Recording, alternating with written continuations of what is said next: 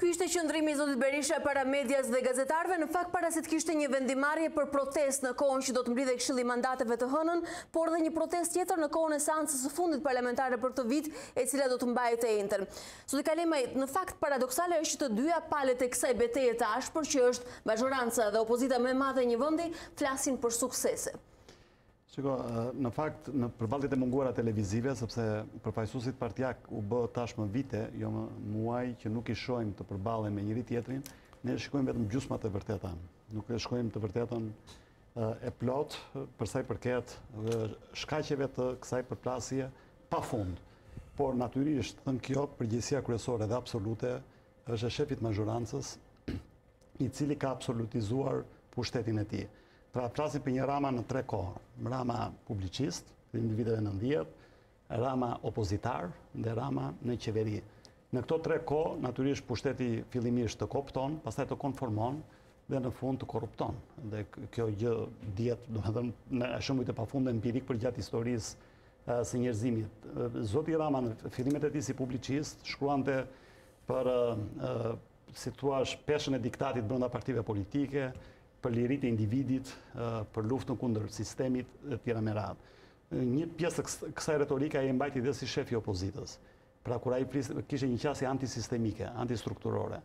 Vijmë te Rama në mandatin e tretë, i cili ndryshon dhe nga Rama i mandatit të parë në fakt, ku gjithmonë e më tepër po absolutizon pushtetin, gjithmonë e më tepër nuk i bën përshtypje absolutisht asgjë, as fakti që mund të bëjë xhiron e mediave ndërkombëtare, ato skena të cilat nuk bëjnë krenar askënd, Sepse kushdo shqiptar që na ndjek dhe ata që janë militantë të Partisë Socialiste, e kuptojnë që nuk është vetëm efekti, pra ajo që po përpiqet të bëjë opozita duke përmbysur karriget, po ka dhe një shkak mbrapa kësaj që e detyron radikalizimin e opozitës që të shkojë në këto ekstremitete.